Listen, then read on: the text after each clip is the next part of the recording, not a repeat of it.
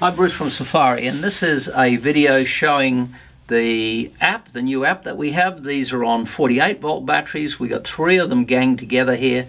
You can see there's uh, three parallel, three are online.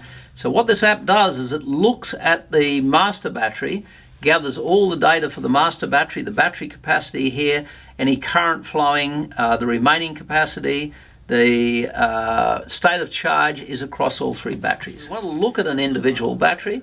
We scroll down to the bottom here, we touch the multi, we pick this first battery here, uh, double O that you can see here, and in the details here, I can see the cell voltage min max, which is 3.327, 3.325.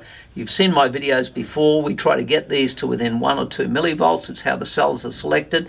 There's a temperature band in here. Uh, let's now have a look at the second battery. And there's the second battery that we're looking at now. And let's have a look at it.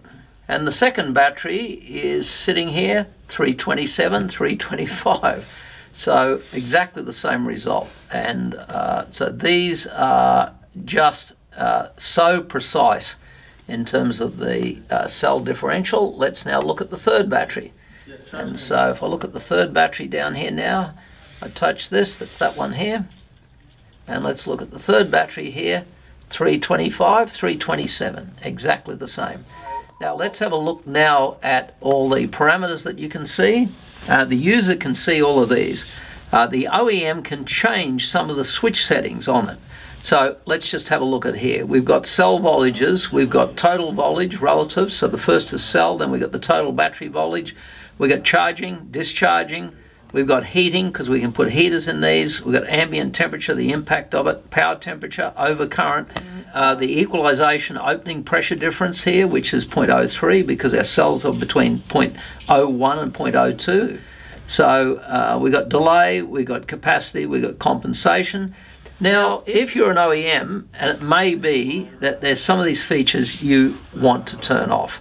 Now, the end user cannot do this. It can only be done by us at the factory or an OEM. But let's pick one that may be turned off. An ambient uh, low temperature warning, we might want to turn that off. Now, if I try to turn that off, I can't.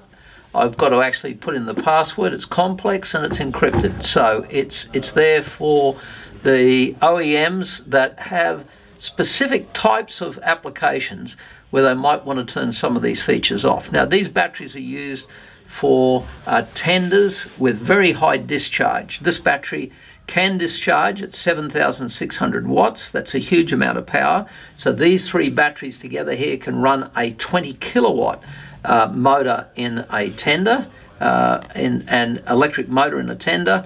And there, in that scenario there, there can be situations where some of the alarms and alerts here want to be disabled, and it can. Now on the front, we've got protection. It's blank if there's any protection warnings, and we've got alarms, and that's blank. So for the user, it's very simple to do. We've then got the detail pages here that if there is an issue, we can go in and have a look. And if it's uh, something like a temp sensor that's come loose in these batteries, vibration or whatever, we can actually turn that off so it doesn't actually uh, shut down the battery. So that's the idea of adding those switches. It's, uh, it's a plan we've had to give more power to the OEMs. I've got to say, how good's that?